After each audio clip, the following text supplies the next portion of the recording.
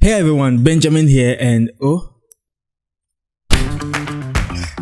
Yeah so let me just say this. So in this video what i'm going to do is i'm going to be teaching you how to create a very interesting flyer. And you know when it comes to flyers I always have something interesting for you. So what I'm going to actually teach you is something simple you can use for any webinar or any online event at all you may have. You can use this flyer in particular to promote it, especially having images of your guests and all of that on it. So I'm going to be teaching. It's very easy and very simple.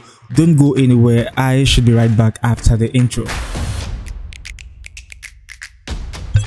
So hello everyone, Benjamin here, a verified Canva expert based in Ghana. If this is your first time on this channel, look, you know what to do. Smash on the subscribe button for me just because you love, you know, this channel. And if you're an OG, massive respect to you. I really appreciate your continued support. So I think it's now time for us to really get started into whatever I have for you today. Okay, so let's jump straight into it. Alright, so this is what we have at the moment. You can see it's very, very easy. I will just come to add a new page and I'm using the dimension 1080 by 30 1350 okay and the background color is not white. So i'll just come to color click on plus color and the background color is e7 e6 um, f1 yeah so that's the background color. Now let's really get started into it. So what do we see? We see some circles. So i'll just come down here press c on my keyboard for circle and i'll increase the size. Okay so something like this should be cool. All right and also there's one thing i'd love to know about um, this. You know i just decided to change the position of my camera. So just let me know if you prefer this or you prefer the normal way which always used to be at the top over here. This time around i just wanted you to feel me and i wanted to feel you also. So just let me know in the comment section if you prefer this okay? Yeah. Anyway so we have our circle over here and we'll just drop it a little bit and we'll just come into color and change the color okay? Nice one then what we'll do is to duplicate the circle. So i'll come here and i'll duplicate the circle. You know still position where it is. And i'll change the color to um, yellow. I was about to say i'll change the color to circle. Right click come to layer and you know send it to the back. Okay it's still selected. So what you need to do is click on the side over here. Okay and press and hold alt. Then drag it a little bit huh so this is what we have been able to create. You see, it's beautiful, very easy. Make sure you did what I did. You select the side of the circle, okay? Then you press and hold Alt and drag. Then when you are finished, when, what am I even saying? When you are done dragging, make sure you leave the cursor. Make sure you leave it before you leave the Alt. If you leave the Alt first, everything will look messy. Everything will look messy, not messy. Everything will look messy, okay? So you rather need to leave the click rather than the whatever. Okay yeah. So we have this over here. Now let's go into my photos. So photos okay and um, you just need to search for any sweet photo of your choice. I have you know the photos i use and i'm just going to be using them. So you can also search for any photo at all you want. Maybe anyone in suit or things like that. So i just want to choose three people but you can choose as many people as possible as long as you know how to arrange them okay? Just be creative. Like we always say there's no limit to creativity so just be creative about it. All right all right so you can see we have these ones over here. The first now just do is to select all of them.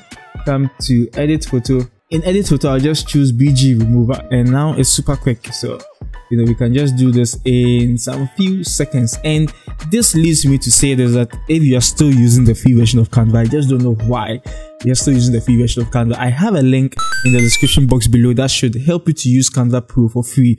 So please click on the link and start using canva pro for free. I don't know what else you want me to do before you start using canva pro.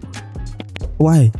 You can do this quickly inside of Canva Pro, removing the background instead of now going to remove the BG, removing background, re-uploading, even aside that, um, the thing is with Canva Pro, you can upload custom fonts. You can also remove the background of videos. Now you can, um, you also have more animation features. You can have you now have multiple brand kits there are just so many things you can actually do in canva pro now. So i want you to be able to do that so that you don't spend so much time when you're actually making designs for clients and all that. Look please use the link okay? Just use the link.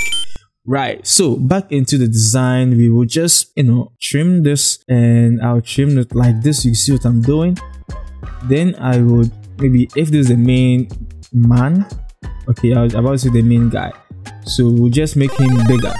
All right and what we can do is we can maybe drop this one down a little bit. Position this one also here.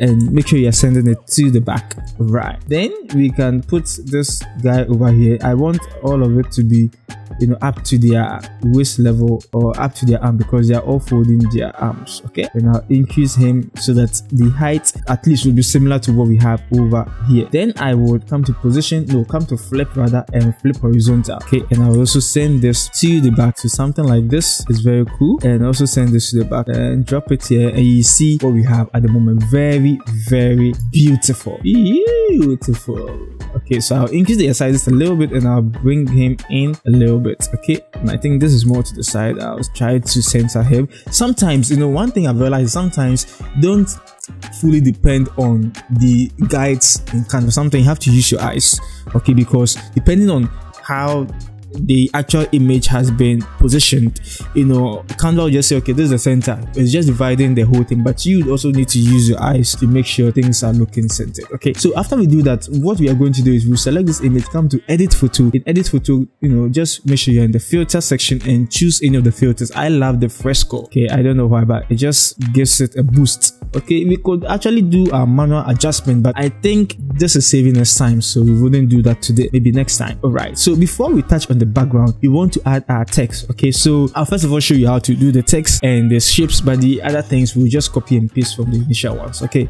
Yeah because i know you know how to do it. So i put this here increase the size and i don't even know the font i was using. I think i'm using here Barlow condensed okay? So i select it and the title is training session so i'll just say the same thing over here. So training session okay? Then i made it bold Mm, so select all and make it bold. Okay you can also use Control b to make it bold. And yeah you can see we have something sweet over here.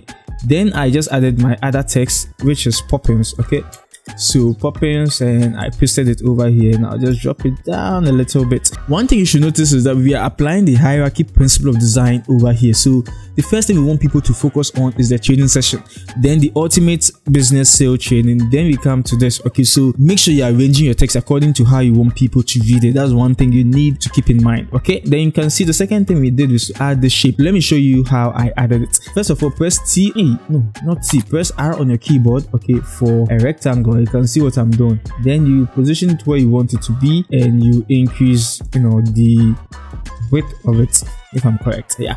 Then come to the border style. Make sure you're choosing the line border okay? Then make sure with the corner rounding you're increasing it to somewhere like 65 all right then come to the color the field color and choose none for it. Then come to the border color and choose white for it okay? Then we have something like this then the next thing i just did was to press l on my keyboard for line position it here.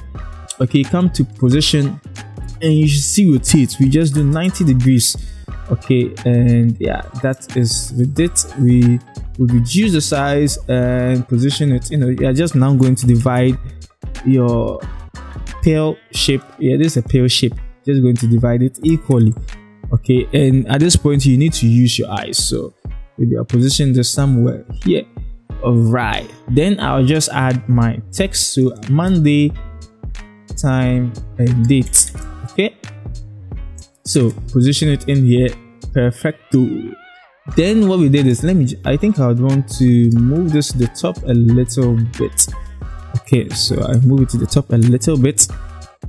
Then you know we have all these extra things. So i'll just copy this because i think for now. There's something you can actually do. You know it's just you implementing the same procedure what we did for this. So you add the shape make sure you increase the rounding add the border style change the border style color. With the fill color make sure you are just setting it to no color. Then add you for more information all other stuff. Then yeah this is what we have at the moment. But we are not done yet. We have to make our background look interesting. So i came into photos and i just came to search for abstract okay? Abstract. And we have so many abstractive images over here. So you can choose any of them. Um, the one I used initially was this first one but you can see we have so many options. So I can maybe choose this one position it here okay and pull it over here and just drag it down. All right right click come to layer. You can just do show layers if we want to be fancy okay and you can see this is it. So we'll just drag it all the way to the bottom. All right then we can reduce the transparency of it a little bit so it doesn't look you know too obvious. All right then i added my logo. So this is one of the custom logos i actually created in canva so that i can use for tutorials and stuff like that. So i just position it here. And yes that should be it. So this is how hey wait we have we are not done. There's one more thing we need to do. One more thing we need to do. Yay hey, hey, need to do. So i have this um element in my canva. Okay this element in particular. You can find it on the element.theafricangeeks.com okay so i have it there and i just positioned it here. And that is it. So yes this is when i can now see this is what we have been able to do in Canva and I hope you found this helpful. Don't forget you can use Canva Pro for free by using the link in the description box below and you can also use my Canva template for free. The link is also in the description box below. The name is Benjamin. Always remember there is no limit to creativity. Don't forget to subscribe, like, support this video as I'm coming wholeheartedly to provide you with you know videos like this. Share this video with your friends, any PS, any person you know who uses Canva and yes don't forget, like I said, there's no limit to creativity, and I should see you in my next video. I know you do it. All you gotta do is put your mind to it. Wake up, I'm on to the next. New day, I gotta do my best. Uh, every day I put the work in. The grind never stop. You ain't never me rest. See me on top, I never.